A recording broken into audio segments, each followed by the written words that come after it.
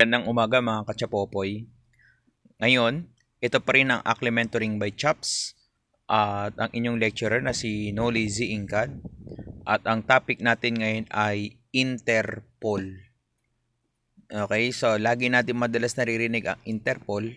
Madalas din tinatanong sa board exam, even sa LEA at saka sa CDI. Ano nga ba ang Interpol? At intindihin natin. Pero ang tanong muna sa number 1 ay, the word Interpol means ang salitang Interpol or abbreviation ng Interpol, ano daw ang ibig sabihin? A. International Criminal Police Organization B. Interpol 24-7 Communication System C. National Central Bureau or D. 194 country members So, ano sagot natin yan? Siyempre, International Criminal Police Organization. Ano ba ang Interpol 24/7 communication system. Ang Interpol 24/7 communication system ay ito ang ginagamit nilang sistema paano nila i-communicate ang mga law enforcement or national police sa bawat bansa. Okay? Next, the National Central Bureau. Ito rin ang ginagamit ng Interpol para makakonekta sa kanila kasi nire-require nila ang mga bansang miyembro ng Interpol na magkaroon ng National Central Bureau.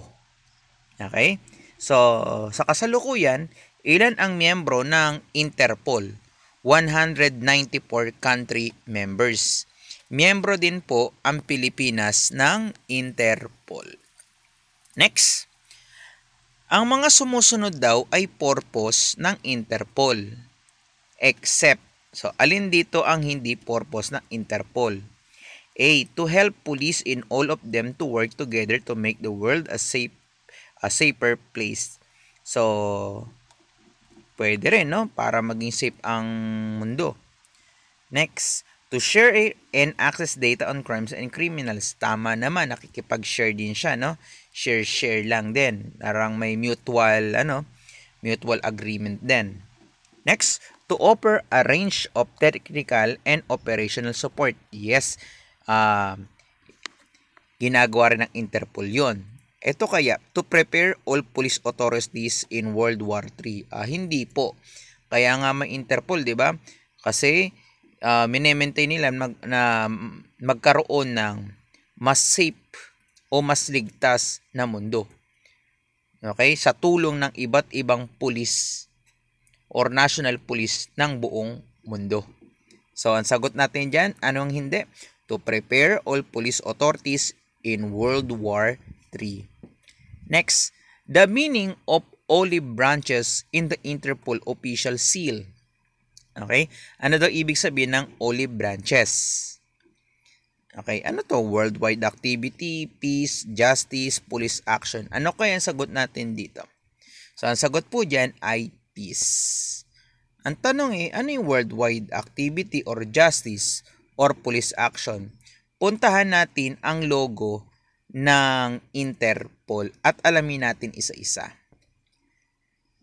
Ang ibig sabihin na bal- ng baliktad na espada or vertical sword or nakatayong espada ay police action. Next, yung olive branches, it refers to what peace, it symbolize peace.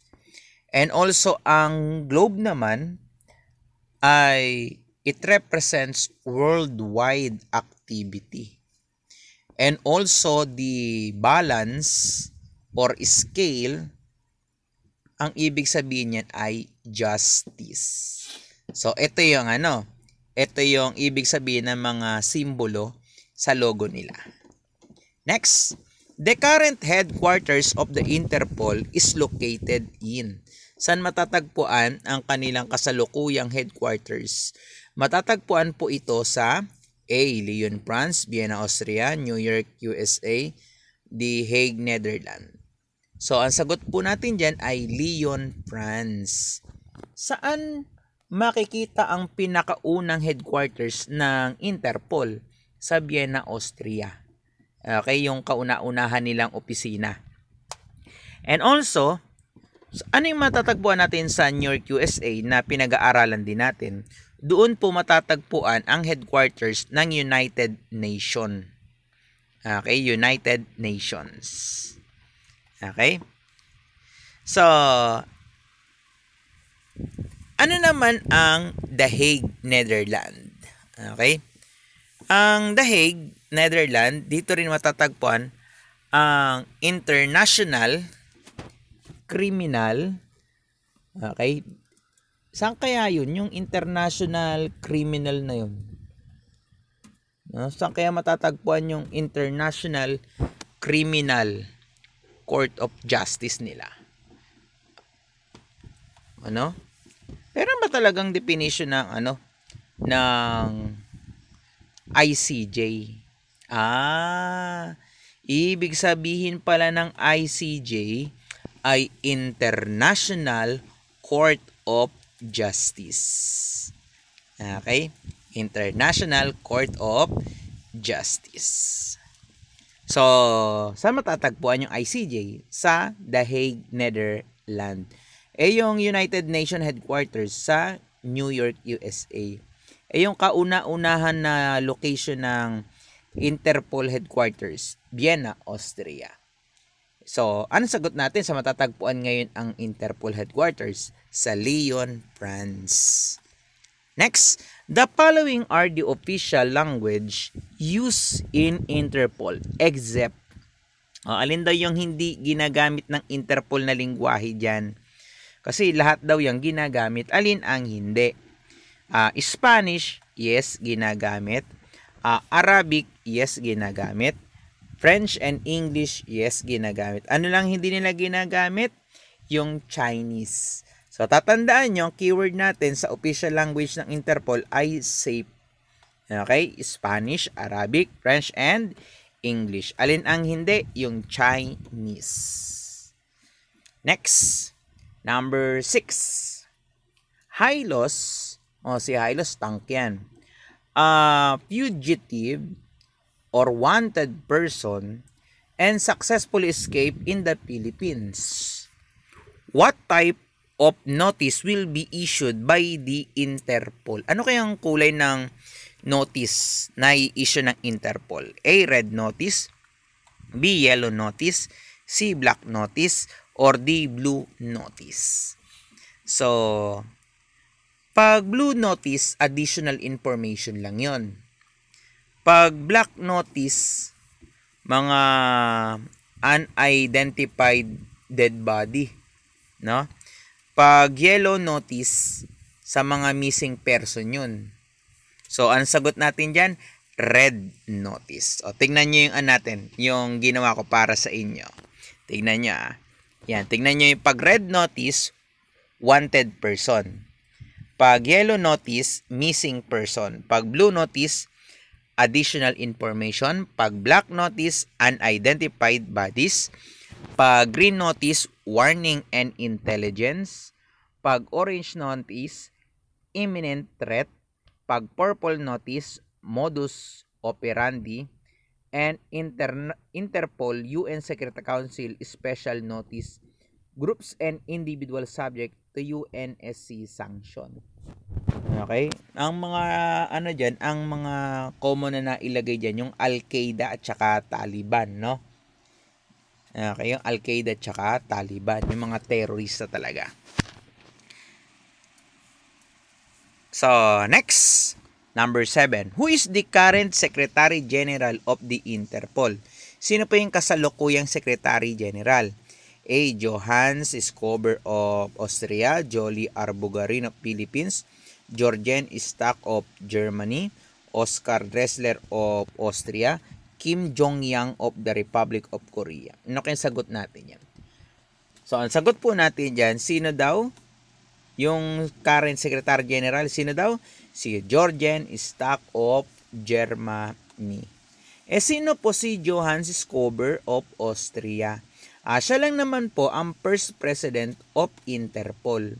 Eh sino tong Jolie R. Bugarin of Philippines? Ah, siya yung first Filipino president of the Interpol. Eh, sino naman si Oscar Dressler? First Secretary General of Interpol. And sino tong King Jong-yang of the Republic of Korea? Ah, siya ang presidente ng ano, kasalukuyang presidente ng tinatawag nating Interpol. Okay, the current president of the Interpol. Next, it is considered as the heart of the Interpol. Ano sagot natin? Consider as the heart of the Interpol. That is a National Central Bureau or yung NCB. Excuse me. Next, number 9. The following are the country members of the Interpol except uh, sabi ko sa inyo kanina, Philippines kasama, di ba? Japan, Malaysia, Netherlands. Ano yung hindi kasama diyan? Anong hindi kasama? Japan siguro kasama din. Talagang kasama Japan. Malaysia kasama. Eh, Neverland, ah, hindi natin matatagpuan yan sa mundo. Kasi dyan nakatira sila Peter Pan. Kaya, except Neverland. Okay, baka Netherland yung nasa utak nyo. Okay, Netherland yun. Pero ito Neverland. Ah, kay ano yun? Kay, yung, kay ano to? Yung kay Peter ba yun? Sino ba yun? Yung ano kay kay Captain Hook, 'di ba? So, Neverland ang hindi kasama diyan ha. Okay, kasi except ang tinatanong. Next, number 10. The International Criminal Police Commission was created in year 1923. So, dati palang tawag ng Interpol ay International Criminal Police Commission. In year 1923, nung create. Pero, nabago na siya in what year daw. O, ewan ko na lang kung hindi nyo pa masagutan yan.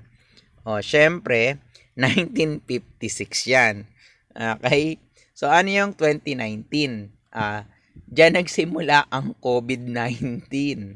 Yung 2020, diyan naman tayo yung grabe, daming problema sa Pilipinas. Okay, di ba? Dami nangyari sa mundo.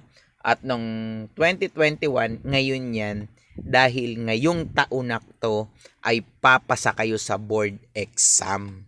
Tandaan yan mga katropa ha. Okay? So, sa mga bagong uh, viewers lang natin yan, i-like nyo ang aming page, ang Akle Mentoring uh, by Chaps at ang aming YouTube channel. Mag-subscribe kayo dyan, ang Akle Mentoring by Chaps. Kung gusto niyo na bumili ng libro, nandyan ang Mastering Criminology Terms. 750 pesos lang yan. Kung gusto niyo order, mag-text lang kayo sa 0926-056-8167 or uh, mag-message kayo sa page at saka sa aming YouTube channel.